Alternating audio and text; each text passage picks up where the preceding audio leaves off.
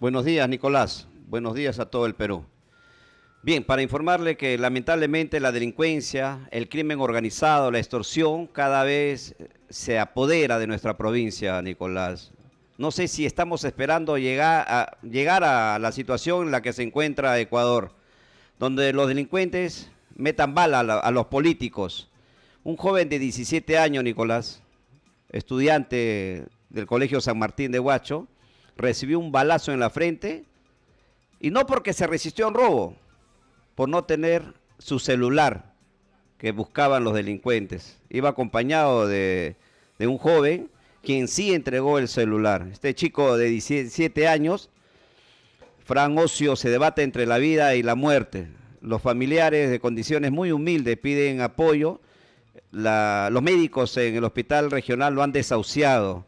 Vamos a ir, Nicolás, con Eri Daldave, que se encuentra con la familia Oxio Toledo, que está totalmente destrozado por la situación que pasa, Fran. De verdad, nosotros expresamos toda la fortaleza, nuestra solidaridad con la familia. Vamos con Eri Daldave. Eri, ¿cómo está? Buenos días. ¿Cómo está la situación con la familia Oxio a esta hora de la mañana?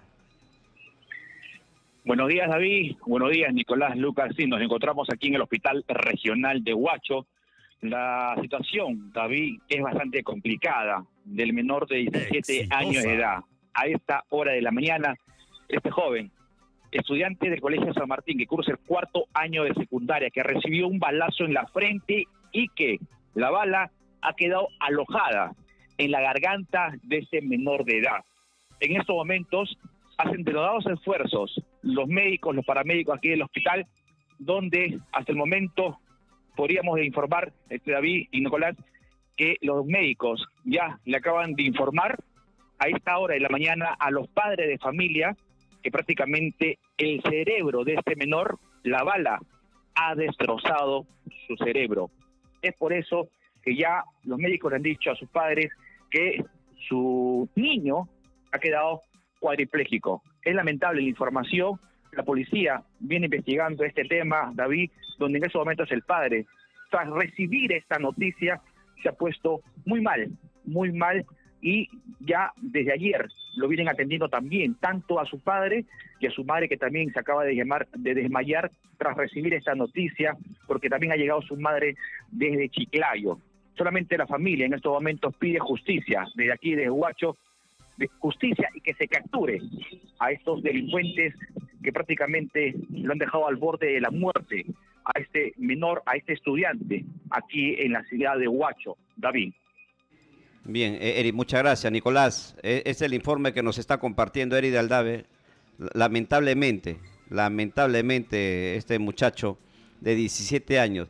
Y le meten bala a Nicolás por no tener nada que robarle. O sea, ahora tenemos que salir con algo en el bolsillo. Si no, nos meten bala por no tener nada. Terrible situación. Nicolás, hace una semana atentaron contra el domicilio también de un médico.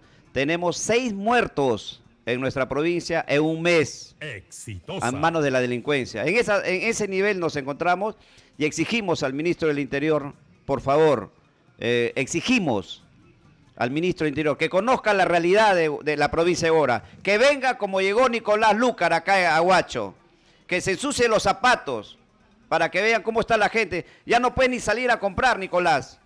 Imagínate, 17 años, le meten bala por no tener un, celular o algo que robarle. En ese nivel, la verdad que indigna, Nicolás.